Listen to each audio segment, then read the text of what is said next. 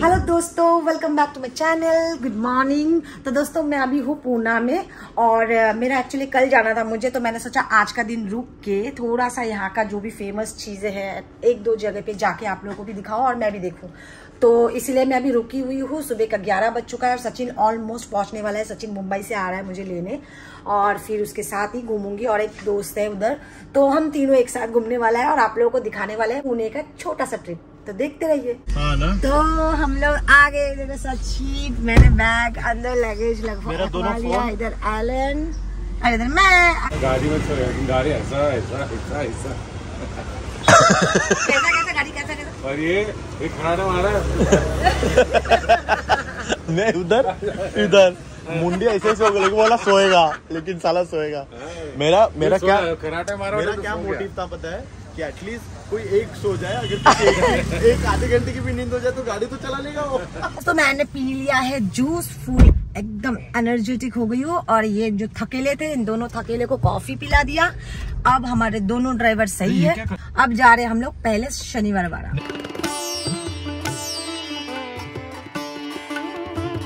नहीं दिखा था ना अगर। वन वे होता तो मैप नहीं दिखा था हम लोग गाइस अभी पहुँच गए हैं। बस और दो मिनट बता रहा है। शनिवार वाड़ा और आसपास के सो आसपास के जो ये सब दिख रहा है ना दीवारें वगैरह देखने में तो लग रहा है हम लोग वहाँ पहुँच ही गए। वैसे डिज़ाइन का ये सब। मैप में दिखा रहा है दो मिनट या मैप में दो मिनट बता रहे हैं। उन्हें पार्किंग कर लिया गाड़ी क्योंकि अंदर जाएँगे तो फंस जाएँगे ट्रैफ़िक है। तो चलते हुए जाना पड़ेगा अभी।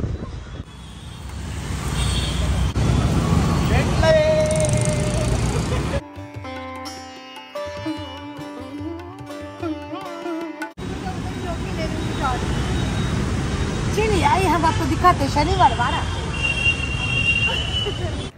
आप लोग अगर बाई कार आ रहे हो तो कार पार्किंग यहाँ पे फ्री है। हमें पता नहीं था पार्किंग यहाँ पे मिलेगा नहीं मिलेगा इसलिए हम लोगों ने बाहर पार्किंग किया। सो आप लोग डायरेक्ट पार्क यहीं पे कर लेना।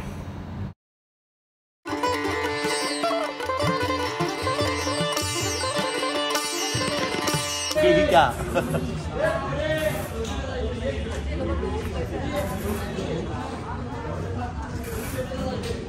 टिकट्स काउंटर है ये। यहाँ पे टिकट लेना है। सुट्टे दादा नाही आहेत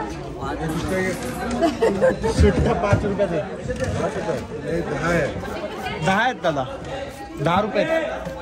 काय म्हणता? दहा पाँच रुपये चाहिए ना पाँच रुपये मत लेना ठीक है अब क्या कर सकते नहीं है हाँ ठीक है रखा दे। थैंक यू इधर इधर इधर इधर। हाँ हाँ। ऐसे क्यों कर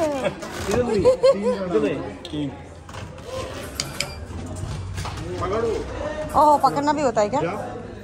नीचे से? हाँ वो आंटी कैसे गया? तो ये देखो तोपे। नहीं वो आंटी नीचे से आई मैं बोले क्या हो गया? टैप के लेगा फिर भी नीचे से गई वो। तो दोस्तों देखो ये शनिवार बड़ा का गेट है अंदर की तरफ़। मेन गेट है। यार क्या मज़बूत बनाए थे ना उस टाइम पे ये लोगों ने। ईटा। तो दोस्तों इस वीडियो के ज़रिए तो आप लोग पूरा शनिवार वाड़ा देख ही लोगे। तो उससे पहले छोटा सा हिस्ट्री बता देती हूँ मैं आप लोगों को। तो ये जगह 1732 में बनाया गया था। ये जगह पेशवास की प्राइड था। और यहाँ पे हर दरवाजे पे 72 स्पाइक्स है। और ये 290 साल पुराना है और 632 एकड़ में फैला हुआ है। और यहाँ पे कहा जाता है हज़ारों लोग रहते थे। और कई बार यहाँ पे आग लग चुकी थी छोटा मोटा लेकिन एक बार 1828 पे बहुत ही भयानक आग लगी थी, जिसके वजह से ये जगह पूरा डिस्ट्रॉय हो गया था। और कहा जाता है कि ये आग कैसी लगी थी, ये आज तक किसी को पता ही नहीं चला। और ये जगह को ना भूतिया भी कहा जाता है। अक्सर आसपास के लोगों को एक आवाज़ सुनाई देती है, काका माला बासुआ मतलब चाचा मुझे बचाओ। और वो आवाज़ पूर्णिमा या अमावस में सुनाई देती है। इसीलिए इस जगह को भूतिया कहा जाता है और ये छः बजे बंद कर दिया जाता है। और ये जगह बनने में उस टाइम पे सिर्फ़ सोलह हज़ार एक सौ दस रुपया खर्चा हुआ था। सिर्फ़ बोलने में तो बहुत आसानी लग रहा है लेकिन उस टाइम पे सोलह हज़ार एक सौ दस बहुत ज़्यादा होता है भाई। और ये मूवीज़ में वाजीराव मस्तानी और पानीपत मूवीज़ में फीचर हुआ था। तो चलो बहुत ज़्यादा तो इन्फॉर्मेशन नहीं दी छोटा मोटा दे ही दिया। अब देख लो आप शनिवार वाला और बाकी डिटेल्स आप गूगल कर लेना। अरे हो रहा है देख दूर देख दूर में देख दूर यहाँ से कैमरे में नहीं हाँ। चलते ना झाड़ों के नीचे नीचे से। झाड़ों के नीचे से। इधर इधर कुछ लिखा हुआ है। नारायण दरवाज़ा। ये गेट का नाम है नारायण दरवाज़ा। तो आज अगर यहीं पे बारिश के डर से खड़े रहेंगे तो फिर हमारा दिन चला जाएगा। टाइम चला जाएगा दगरू स्टेट जाना है इसके बाद। हाँ बे तो अभी वैसा कुछ बचा नहीं बट जो भी बचा है देख सकते हो देखने लायक है। यहाँ पे कुछ लिखा है आप लोगों को दिखाती हूँ। क्या है? Residence of Sadashivrao Bhau. थोरले Bajirao यांचे बंधू. यांचे पुत्र होते सतराशे एकसष्टच्या पानिपतच्या लढाईत रणांगणा तो अभी जो भी नाम लिखा हुआ है जिसमें दिखाते जा रही हूँ आप लोगों को।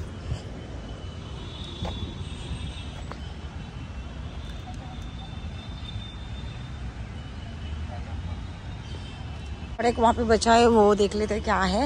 एक्चुअली जो पूरा एरिया है जहाँ जहाँ लिखा है ये लोग ये लोग एक जॉइंट फैमिली जैसे रहते थे, उनका बड़ा फैमिली था ना उस टाइम का। वहाँ पे थोड़ा सा देख कर टॉप एंगल में जाऊँगी और वहाँ से आपको पूरा व्यू दिखाऊँगी, कैसा लगता है। तभी शायद जो एक हम लोगों ने जो वो मूवी देखा था ना, जो एक हमारे दिमाग में विजन है कि ये ऐसा दिखता था शनिवार वाला तो वहाँ से शायद दिख जाए। मुझे अभी तक वो दिखा नहीं तो वहाँ से शायद पता चले, थोड़ा समझ में आए। तो चलो आपको दिखाती हूँ।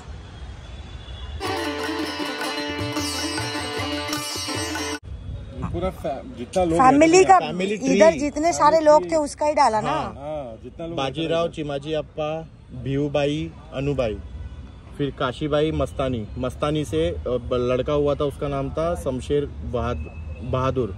लाल कुंवर और मेहरम ये नाम से भी जाने जाते थे। और काशीबाई से जो हुए थे वो नाना साहेब थे रामचंद्रन थे जनार्दन थे और रघुनाथ राव रघुनाथ राव थे। उनके बाद राधाबाई, ये सब मतलब वैसे ट्री बनाया उनके उनके थ्रू कौन आया? फिर उनके थ्रू कौन आया?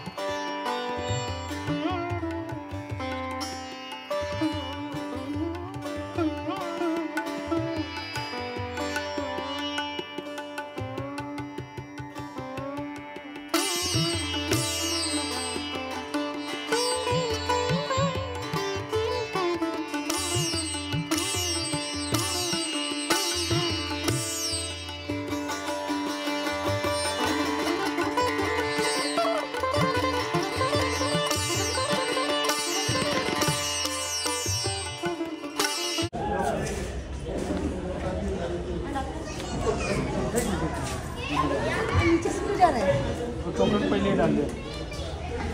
मैं नहीं जाऊँगी नीचे से।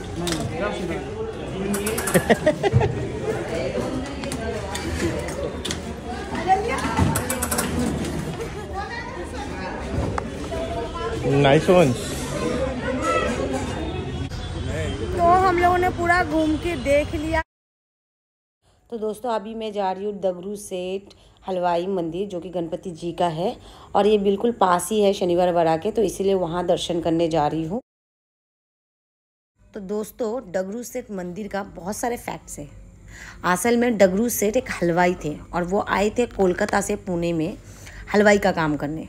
और वो जिस वक्त आए थे, उस टाइम पे प्लेग महामारी चल रहा था, और उस वक्त उन्होंने अपना बेटा खो दिया। बेटे के आत्मा के शांति के लिए उन्होंने ये मंदिर, गणेश जी का मंदिर बनाया। और तभी से इस मंदिर का नाम श्रीमंत डगरू हलवाई मंदिर के नाम से जाना जाता है। और कहा जाता है इस मंदिर में दर्शन करने से हर मनोकामना पूरा होता है। तो मैं तो चलिए दर्शन करने और आप लोग भी इस वीडियो के ज़रिए दर्शन कर लीजिए।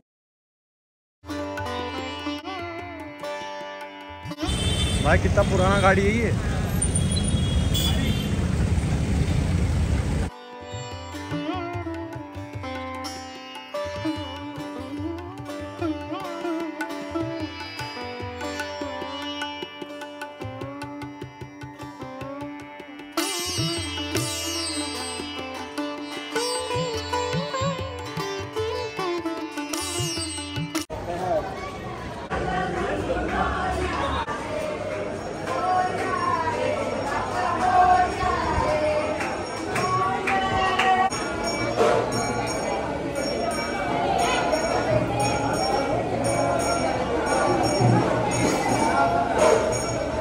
दोस्तों, अगर आप लोगों को मेरा ये वीडियो पसंद आया तो प्लीज़ लाइक कमेंट शेयर कर देना। और मेरे चैनल पे जो भी नए आए हो तो प्लीज़ सब्सक्राइब कर दो।